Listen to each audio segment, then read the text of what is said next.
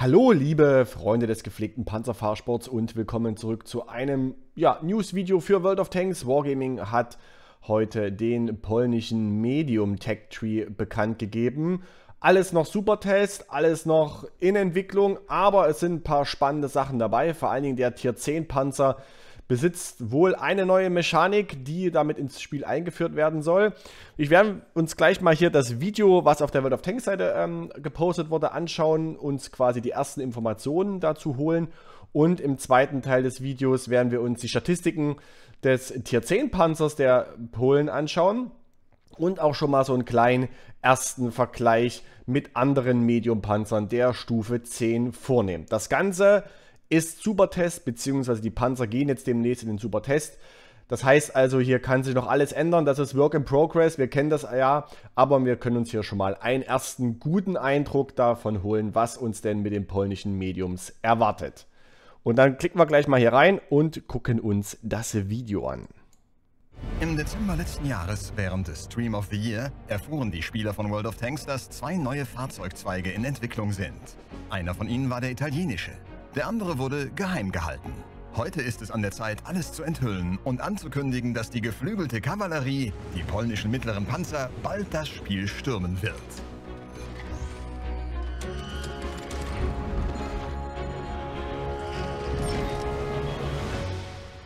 Ein kleines Stück Geschichte. Nach dem Zweiten Weltkrieg war Polen als Mitglied des Warschauer Pakts ein sich schnell entwickelndes europäisches Land. Es ist daher nicht verwunderlich, dass der damalige polnische Panzerbau nicht nur durch neues sowjetisches Ingenieurswissen, sondern auch durch die Forschung beeinflusst wurde, die zu den gepanzerten Fahrzeugen der Wehrmacht führte. Ist mir jetzt tatsächlich neu, aber ich bin jetzt auch, sage ich mal, historisch nicht der Mega-Geschichtsexperte. Auf jeden Fall höre ich das gerade zum ersten Mal. Der Einfluss der sowjetischen Panzerbauschule zeigt sich am Beispiel des CS-44. Die einfache Form des geschweißten Turms ist eine technische Lösung und kostengünstig in der Herstellung. Die sowjetischen Wurzeln erkennt man auch am recht fortschrittlichen Fahrwerk. Die Seitenschürzen basieren aber eindeutig auf der Analyse der Wehrmachtsfahrzeuge nach dem Ende des Zweiten Weltkriegs. Das Heck des CS-53 zeigt, dass die polnischen Konstrukteure von Details wussten, die aus den westlichen Panzerbauschulen stammten. Es ist jedoch darauf also Spionage oder wie? Es wird hier sehr, sehr äh, schön so ein bisschen durch die Blume gesagt. Hinzuweisen, dass sich der damalige polnische Panzerbau völlig eigenständig entwickelte. Die Integration technischer Lösungen beider Seiten des Eisernen Vorhangs wurde von bahnbrechenden Entwicklungen begleitet. Damit ist nicht nur das Arsenal der polnischen Geschütze, hauptsächlich Flugabwehr und Panzerkanonen gemeint, sondern auch die Fahrwerksdetails. Zum Beispiel die kleineren Räder, wie beim CS-63. Dies wurde später von der Sowjetunion übernommen. Neuer mittlerer Zweig. Es gab in Polen nicht genug mittlere Panzer, um einen vollwertigen Fahrzeugzweig zu erstellen. Die Pläne und Entwürfe für mögliche weitere Fahrzeuge sind jedoch erhalten geblieben. Unter Einhaltung der technischen Logik und unter Verwendung bekannter Lösungen der polnischen Wargaming und technische Logik. manchmal, Entschuldigung, aber manchmal denke ich irgendwie, die verarschen sich selber in ihren Videos. Entschuldigung. Konstrukteure haben wir diese Fahrzeuge in das Spiel implementiert. Okay, jetzt geht also ab Tier 5 los. Sechs Fahrzeuge für den polnischen mittleren Panzerzweig von Stufe 5 bis Stufe 10. Und ein Premium ab Tier 8. wird es okay. einen Premium-Panzer der Stufe 8 geben. Der Übergang zu den Neuankömmlingen beginnt mit den 14 TP auf Stufe 4. Die Werte der neuen Fahrzeuge festzulegen wird noch einige Zeit dauern, aber wir... Das ist doch eine Ente hier oben. Das ist doch eindeutig ein AMX 40. Oder zumindest geklaut davon. Wir können bereits jetzt über unsere Vision für die polnischen mittleren Panzer sprechen. Stufe 5. Das erste Fahrzeug im neuen Zweig ist der DSPZ INS 1 auf Stufe 5. Es handelt sich um ein Pilotprojekt für einen mittleren Panzer, das Ende der 1930er Jahre entwickelt wurde. Die Entwicklung wurde jedoch durch den deutschen Überfall auf Polen unterbrochen. Es setzt den gleichen Gedanken wie beim 14TP fort, zeigt aber auch die Züge eines mittleren Panzers. Also hier sehen wir schon, die Panzer haben alle noch keine richtigen Texturen. Daran sehen wir auch den frühen Entwicklungsstand bei diesem Zweig. Wir dürfen also jetzt nicht erwarten, dass wir jetzt in den nächsten wenigen Wochen, sage ich mal, hier schon irgendwelche Panzer auf dem Testserver sehen werden. Ich denke mal, wir reden hier, ohne es jetzt genauer zu wissen von Wargaming, von einem zeitlichen Bereich von so Ende des Jahres, schätze ich mal, oder zumindest dann in Richtung Herbst. Dies beeinflusst das Verhalten des Panzers. Anders als die gut gepanzerten Fahrzeuge des schweren Zweigs werden die neuen mittleren Panzer schneller und manövrierfähiger sein.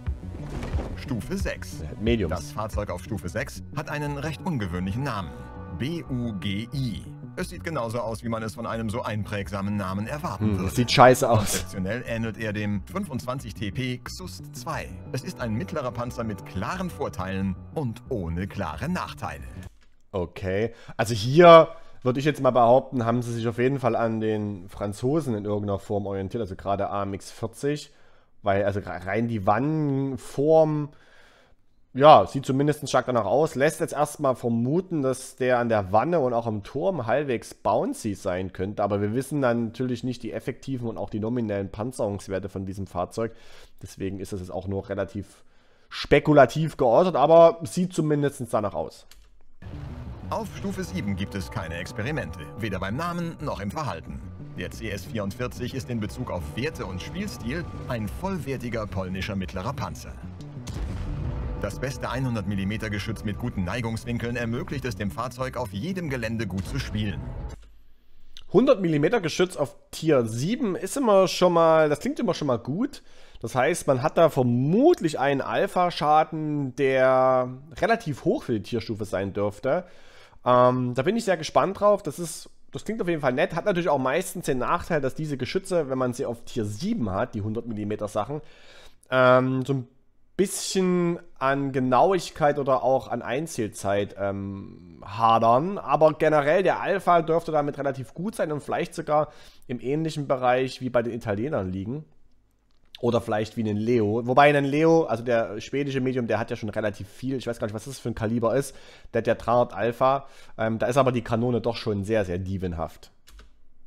Ihr könnt schießen, ohne eure Wanne zu zeigen und bleibt relativ sicher. Stufe 8. Momentan sind zwei polnische mittlere Panzer der Stufe 8 in Arbeit. Möglicherweise wird ein Fahrzeug im Zweig landen und das andere wird ein Premium-Panzer. Ja, möglicherweise. Also es wird eins davon im Premium-Fahrzeug werden. Sie werden, vom, sie werden mit Sicherheit keine zwei Standardpanzer einführen. Also wir können davon ausgehen, das werden sie auch gleich im Video nochmal sagen, ein Panzer davon wird Premium und einer davon Standard.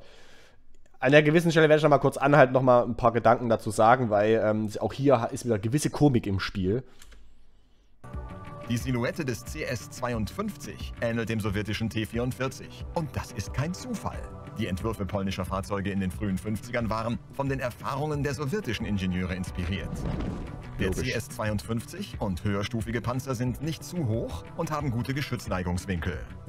Dabei handelt es sich um ein Unterstützungsfahrzeug, das den Verbündeten in jede Richtung helfen kann, insbesondere in unebenem Gelände. Wir achten mal drauf, dass hier an dem Panzer schon Texturen zu sehen sind. Also zumindest dieser Achter scheint in der Entwicklung schon relativ weit zu sein. Der andere Stufe 8 Panzer heißt CS-53. Es handelt sich um ein Pilotprojekt aus den frühen 1950ern. Bei der Konstruktion dieses Fahrzeugs orientierten sich die Polen an den technischen Lösungen, die im damals neuen sowjetischen Serienpanzer T-54 umgesetzt wurden. Allerdings hatten diejenigen, die am Projekt arbeiteten, auch genug eigene Ideen, wie das Fahrzeug aussehen und im Kampf agieren sollte.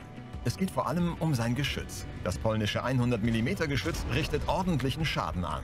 Gute Geschützneigungswinkel erlauben dem CS-53 auch Stellungen zu halten, die dem T-54 nicht zur Verfügung stehen. Das finde ich übrigens recht spannend, dass die Polen bei den Mediums anscheinend sehr gute oder zumindest einigermaßen brauchbare, auch negative Richtbereiche bekommen, was ja bei den Russen nicht so ist. Also da haben wir mal 5 mal 6 Grad und gerade der angesprochene T54 auf Tier 9, der ja eigentlich kein schlechtes Fahrzeug ist, also was heißt eigentlich, er ist kein schlechtes Fahrzeug, aber der hat halt immer so Probleme. Wir kennen es ja auch vom Objekt 430 oder von anderen ähm, russischen oder so, sowjetischen Fahrzeugen. Das ist die Gun Depression nervt halt teilweise.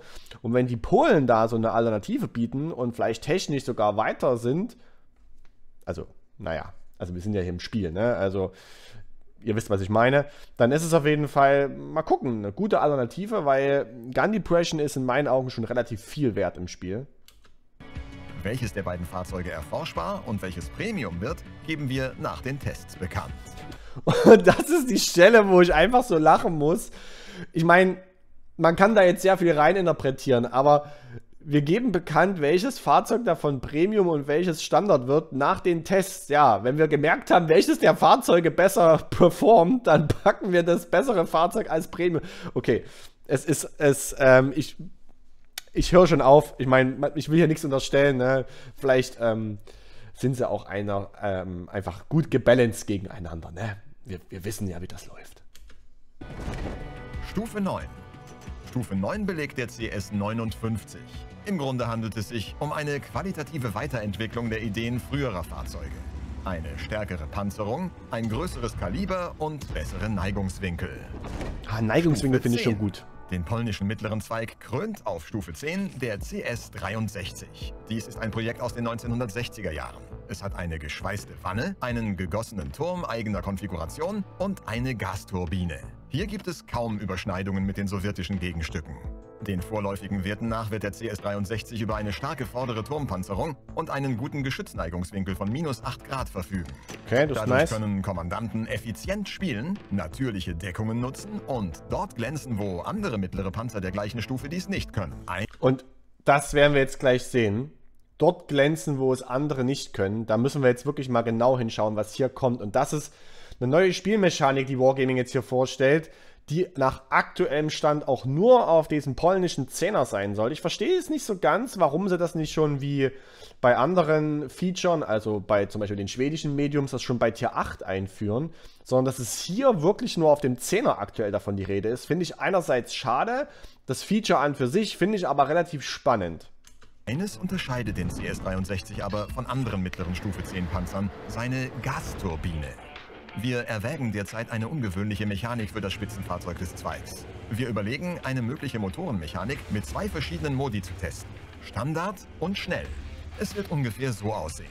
Im ersten Modus verhält sich der CS-63 wie ein normaler Mittlerer mit den üblichen Eigenschaften. Schaltet man den Motor aber um, steigt seine Leistung. Die Höchstgeschwindigkeit des Fahrzeugs und die Beschleunigungsdynamik verbessern sich. Gleichzeitig verschlechtern sich Stabilisierung und Zielzeit des Geschützes erheblich. Schießen unter solchen Bedingungen wird nicht effektiv sein. Darüber hinaus wird die Möglichkeit erwogen, die Tarnwerte im schnellen Modus zu verringern. Das ist ziemlich cool. Also es ist nicht nur so wie bei den, ähm, bei den Radpanzern, einfach schnell und langsam, sondern die Modi bekommen tatsächlich auch, oder der schnelle Modus bekommt tatsächlich auch noch einen Nachteil. Also nicht nur was die Kanone angeht, was wir gleich sehen werden, sondern aber auch den Tarnwert. Und das finde ich ein ziemlich cooles Konzept. Das finde ich halt so ein bisschen die Weiterentwicklung wie bei den Radpanzern. Und ich finde auch bei den Radpanzern, warum hätte man das damals nicht schon einführen können? Vielleicht in abgeschwächter Form. Ähm, aber warum? Ne? Hätte man auch machen können, dass die Kanonen halt in den Fahrmodi einfach schlechter performen. Wir wollen auch die Wirkung von Ausrüstung, Verbrauchsmaterial und Besatzungsfertigkeiten auf einen Panzer mit diesem Motorenmodus ausschließen. Das ist auch geil, ne? Also, das Ding fährt einfach nur schneller, hat dadurch aber einen schlechteren Tarnwert und auch die Vorteile von den Verbrauchsgütern oder von der Mannschaft werden quasi vermindert. Ey, bitte Wargaming, teste dieses Feature auch auf den Radpanzern. Also, warum nicht? Das ist super geil. Dies geschieht, um sowohl die Nachteile als auch die Vorteile, die daraus resultieren, auszugleichen. Ja, Gegenwärtig genau. planen wir, dass diese Modi per Knopfdruck umgeschaltet werden. Ein Wechsel des Modus ist nur möglich, wenn das Fahrzeug stillsteht und wird einige Zeit dauern. Auch das, auch das wäre eine Möglichkeit, auf den Radpanzern zu testen, dass man die um, das Umschalten der Fahrmodi bei den Radpanzern auch nur im Stand machen kann. Warum nicht? Also man kann es zumindest doch mal überprüfen. Außerdem könnt ihr während des Gefechts beliebig oft zwischen den Modi wechseln. Der Schnellmodus hat keine negativen Auswirkungen auf den Motor selbst oder das Fahrwerk. Es wird kein Verbrauchsmaterial sein, sondern eine eingebaute Funktion des CS63. Ihr könnt den gewünschten Modus auch im Voraus während des Countdowns vor dem Gefecht auswählen. Diese einzigartige Eigenschaft des CS63 wird ihm ermöglichen, gleich zu Beginn des Gefechts günstige Stellungen einzunehmen und im weiteren Verlauf schnell die Stellung zu wechseln. Die polnischen mittleren Panzer werden in naher Zukunft in den Supertest geschickt. Ihre Werte sind noch lange nicht endgültig. Es werden Anpassungen vorgenommen, bis die neuen Fahrzeuge im Spiel erscheinen. Wann also wir sehen hier eindeutig, dass einer der beiden Tier 8er auf jeden Fall in der Entwicklung schon am weitesten ist, weil der hat schon richtige Texturen. Und hier kommt auch nochmal die Info jetzt am Ende. Es ist noch nicht ganz klar, wann sie ins Spiel kommen. In den Supertest gehen sie jetzt demnächst, aber aufgrund dessen, dass die meisten Fahrzeuge davon noch keine eigenen Texturen haben, gehe ich davon aus, dass das Ganze noch lange dauern wird. Dies sein wird, werden wir später bekannt geben. Fürs Erste bleibt gespannt und viel Erfolg auf dem Schlachtfeld. Ja, also wir haben gesehen, was das Neue ist. Wir werden uns gleich im zweiten Teil noch die Vergleichstabelle des neuen Zehners anschauen mit anderen Mediums, die wir bereits schon im Spiel haben.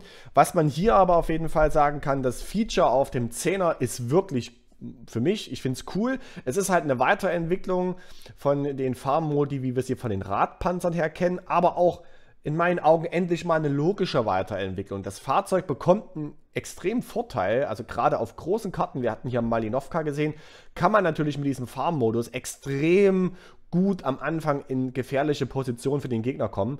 Ähm, hat aber halt auch den Nachteil, dass man auf jeden Fall gespottet wird oder zumindest die Wahrscheinlichkeit stark ansteigt, weil einfach der Tarnwert deutlich schlechter wird und auch ansonsten kanonische und Einzel, also alles was die Kanone angeht, schlechter performt und halt auch der Vorteil von ähm, Verbrauchsgütern oder Mannschaft nicht äh, vorhanden ist. Und das sind halt Sachen, das würde ich mir halt auch gerne bei den Radpanzern wünschen, dass man vielleicht nicht alles davon auf die Radpanzer auch überträgt, aber dass man das halt einfach mal testet. Wozu habt ihr denn einen super Test bei Wargaming oder auch mal einen Testsurfer oder einen Sandbox-Surfer, wo man solche, so, so, so ein Feintuning auch mal für die Radpanzer testen kann, damit sie ja auch Nachteil haben, wenn sie in diesen schnellen Modi unterwegs sind. Denn das einzige, den einzigen Nachteil, den sie halt haben, ist, dass sie nicht so wendig sind. Aber ganz ehrlich, das interessiert so gut wie niemanden. Äh, magnetisches Auto-Aim, volle Bulle drauf und ähm, gib ihm. Aber gut, wir schauen mal in den zweiten Teil mit der Vergleichstabelle. So, hier sehen wir jetzt die vorläufigen Statistiken oder die Werte des CS63, was der polnische Medium auf Tier 10 sein soll. 390 Alpha, Pennwerte 258 auf der AP, Premium ist APCR mit 315. Äh, damit liegt ja bei den Pennwerten hm, gefühlt eher so im unteren Bereich bei den 10er Mediums. Ja, da gibt es ein paar, die sind deutlich besser. Das ist eher so im Bereich der Heavies ähm, zu sehen. 8,5 Sekunden Reload. Gucken wir gleich mal was das für eine DPM ist. Da kommen wir auf eine DPM von 2752. Im ersten Blick klingt das ziemlich viel. Wir gucken gleich in die Vergleichstabelle. Die Kanone nicht super präzise. Also hier gehen wir eher so in die russische Richtung. Ja, also keine deutsche Präzisionskanone 0,36. Natürlich dürfen wir nicht vergessen, mit einer entsprechenden Mannschaft und Verbrauchsgütern kann man das sicherlich auch noch ein bisschen drücken, das ist klar. Aber effektiv kommt man dann vielleicht auf 0,34, 0,33. Einzielzeit mit 2,3 Sekunden ist auch nicht mega schnell. 8 Grad Gun Depression haben wir schon gesehen. Und hier unten sehen wir jetzt dann die Werte einerseits vom normalen und von dem schnellen Modus. Also 55 Topspeed im normalen Modus, 70 in diesem Fahrmodus. Auch die Rückwärtsgeschwindigkeit wird erhöht auf 20 und Wargaming schreibt das auch im Forum in dem deutschen Text, auch im englischen Text, dass das halt damit erreicht wird, dass einfach in diesem Fahrmodus die Motorleistung extrem erhöht wird und dadurch steigt halt auch das Leistungsgewicht von vorher 18,1 PS pro Tonne auf 28,2 PS pro Tonne. Das heißt also, der fährt nicht nur auf dem Papier schneller, der wird auch diesen Topspeed deutlich besser erreichen können. Worauf es anscheinend keine Auswirkungen hat, ist die Drehgeschwindigkeit der Wanne. Die bleibt bei 48 Grad pro Sekunde. Und die Turmdrehgeschwindigkeit, wo haben wir die denn hier? Ähm, die haben wir hier oben mit 50 Grad. Wir schauen uns gleich die Vergleichstabelle an. 2000 Hitpoints hat er. Sie haben ja auch die Panzerung angesprochen, also an der Kanonenblende soll sie relativ gut sein, mit nominell 260. Das 3D-Modell muss man dann mal sehen, wie das aussieht, wenn wir es haben. 80 an der Wanne mit einer halbwegs guten Winkelung, aber ihr seht schon, die Unterwanne ist extrem groß und ich vermute mal, dass die mindestens auch nur 80 hat oder vielleicht sogar weniger. Dementsprechend ähm, muss man die sehr gut verstecken, weil die wird relativ einfach durchschlagbar sein. Und die, und die Seitenpanzerung, oh, oh, oh, oh. Also 50 mm an der Wanne Seitenpanzerung und das auf Tier 10 Mit dem kann man also absolut kein Sidescraping machen.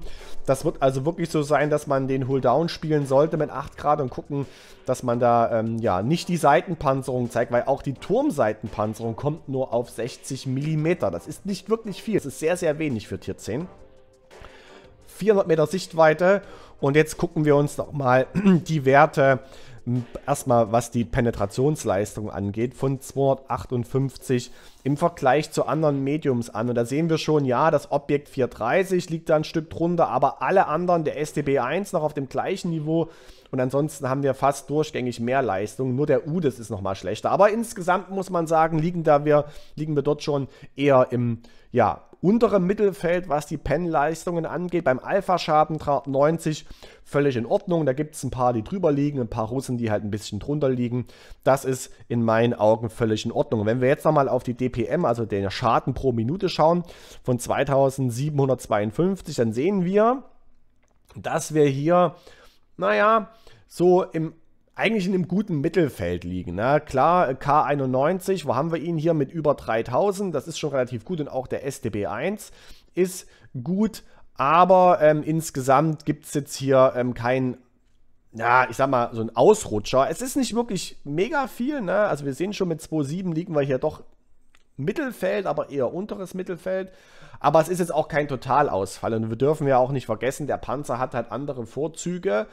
Wie gesagt, diese Farm-Modi. Gucken wir gleich mal drauf. 55 Topspeed im normalen Modus. So, da haben wir hier dem Leo eine 70. Ja, der, der ist natürlich dann ähm, ganz weit oben. Aber ansonsten, ja, hier haben wir ganz oft die 50 stehen. Hier haben wir mal eine 60, eine 55.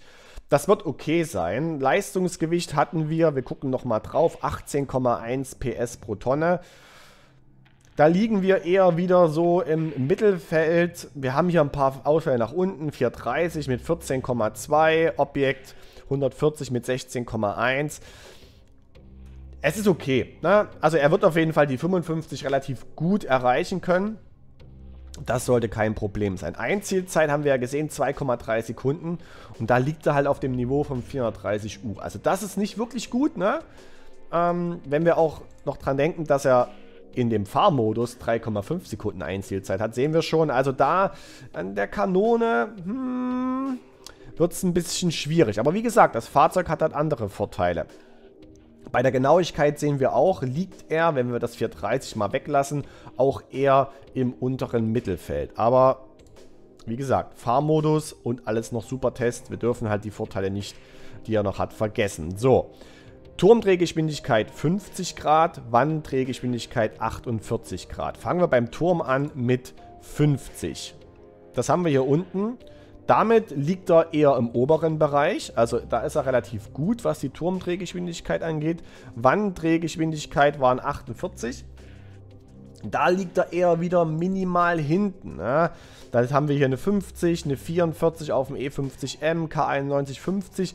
Also er hat zwar die bessere Turmdrehgeschwindigkeit, aber den Vorteil, den er da hat, den verliert er im Grunde wieder bei der Wanddrehgeschwindigkeit. Ähm, Zirkeln wird damit immer noch möglich sein, aber er hat damit halt einen kleinen Nachteil gegenüber anderen Mediums. 400 Meter Sichtweite, am Ende mal noch den Wert anschauen. Den sehen wir hier unten. Damit liegt er auch im absolut normalen Bereich. Es gibt manche, die haben 390, es gibt manche, die haben 410. Das ist also auch völlig in Ordnung. Und jetzt suchen wir uns mal noch die Stelle, wo wir die Hitpoints sehen. Hitpoints haben wir hier. Wir haben 2000 auf den Polen. Damit sind wir sogar leicht im oberen. Na, E50M 2050. Objekt 430U 2000, SCP-1 2000, alle anderen so 195 das sind keine großen Unterschiede. Das ist halt so, das sind mal 50 Hitpoints mehr, mal 50 Hitpoints weniger. Das kann natürlich, diese 50 Hitpoints kann natürlich klar einen Treffer ausmachen, aber insgesamt gibt es hier keinen großen Ausreißer irgendwo nach oben oder nach unten. Also insgesamt ein Fahrzeug, was auf der Kanone, gerade was die Genauigkeit und die Einzielzeit angeht, mit den Werten, die er aktuell hat, so einen minimalen Nachteil hat. Mobilität auch würde ich Ihnen sagen, sehe ich ihn so eher im, im, unteren Mittelfeld, aber nicht extrem scheiße. Und dafür bekommt er aber halt diesen großen Vorteil des Fahrmodi, der aber durch die Nachteile im Fahrmodus auch gebalanced ist. Also insgesamt von der Idee sehr, sehr cool von der Umsetzung. Müssen wir am Ende halt einfach warten. Die vorläufigen Werte sehen jetzt irgendwie nicht sehr schlecht oder sehr, sehr gut aus. Das Fahrzeug wird halt spannend durch diesen Farmmodus. Und ich kann hier nur noch mal an Wargaming appellieren, bitte, bitte, bitte, macht einen Sandbox, macht einen super Test und probiert doch mal diese Nachteile im Farmmodus auch mal für die Radpanzer aus. Am Ende bleibt mir nur zu sagen, wenn es euch gefallen hat, lasst mir gerne ein Däumchen nach oben da. Was sagt ihr zu den polnischen Mediums? Lasst es mich gerne wissen in den Kommentaren. Mein Dank geht raus an meine großen Unterstützer auf Twitch und auf YouTube. Das sind Xynam, Irondale, Kütte, Kulle und Parsival. Und wir sehen uns dann wieder zu einem der nächsten Videos. Macht's gut, ciao, ciao. Euer Oher.